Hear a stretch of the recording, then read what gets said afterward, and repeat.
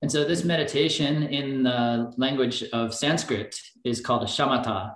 And in Tibetan, that is translated as Shiva la Nepa, which means abiding in peace. Mm. Uh, da, With all of this is that when we're here to talk about calm abiding, this shamatha practice, what we're doing is turning our attention inwards and then working with a method to attain happiness from within.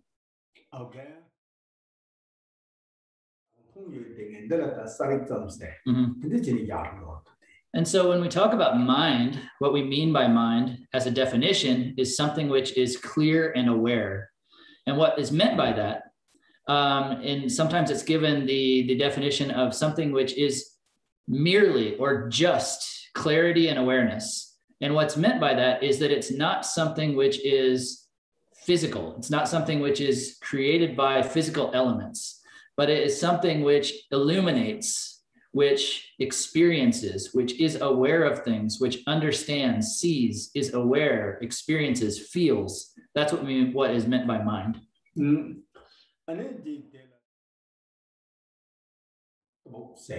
That's some note to this? And so anytime we have a state of mind, that mind has to be has to arise in connection with some object. And so there's this meeting of or connection of mind and its object.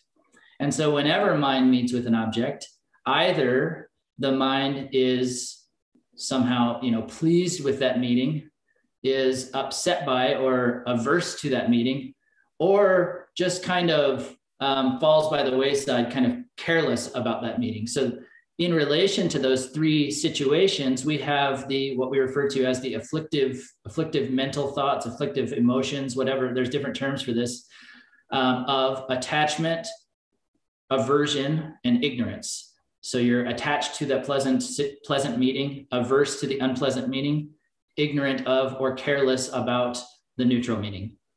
Oh, so, that guy is that. So a mind, your mind always has to be merged with or connected to some object. 어, 아니, 가세 가사기 요들 차바찌로도 가라야. 아니, 델란도 차세. 마가사 데솔라 다마찌로도 가 셰당사. So when when the mind meets with an object that it's pleased to be meeting with, um, that it's you know desirous of or happy about, then we have the corresponding um, you know mind of affliction of emotion of whatever of attachment. And when it meets with one that it's not pleased with, then it has aversion or anger towards that. 나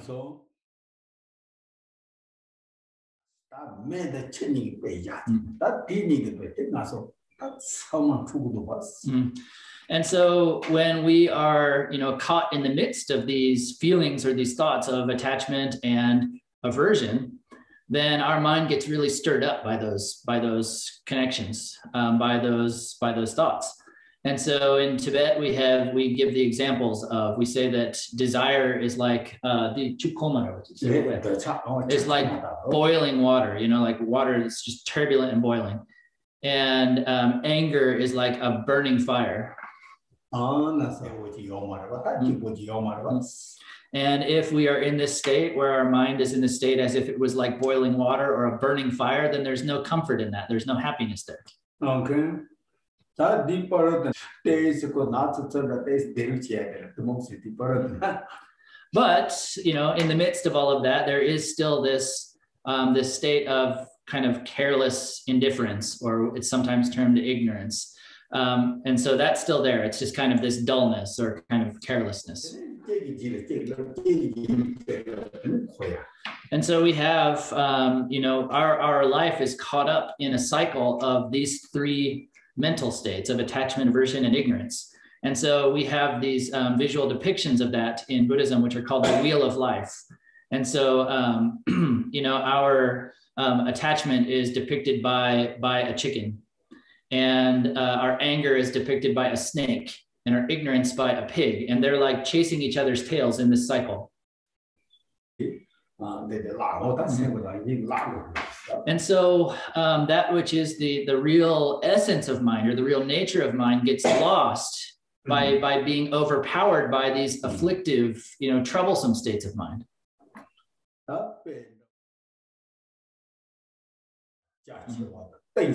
Mm-hmm.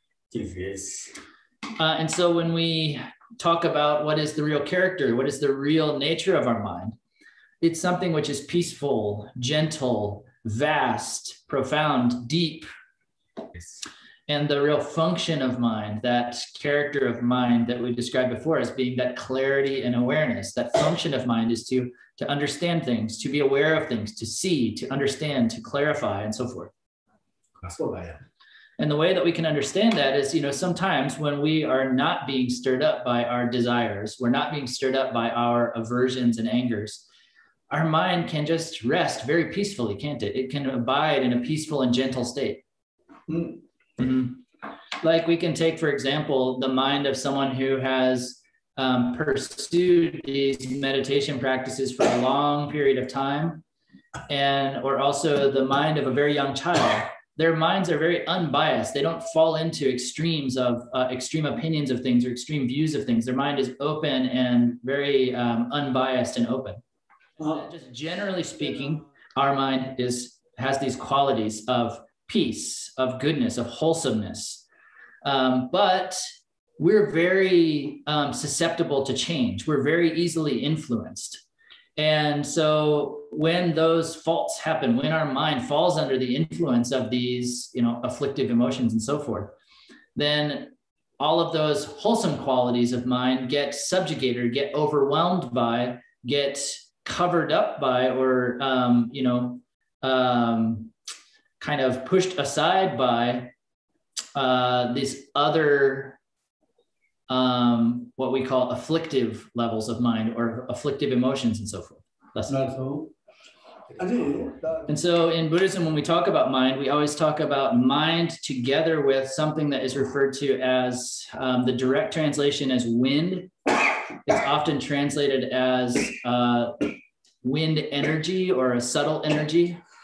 Uh, it's the same word which in yoga traditions is prana and in like uh, Tai Chi and so forth is chi. Um, but what's meant by that is that from the perspective, we're just thinking of mind as mind, it means that aware quality. And thinking of that wind or that energetic quality, that means that movement of mind. So um, our mind is there and our mind is that awareness, but that wind, that energy can move our mind in lots of ways.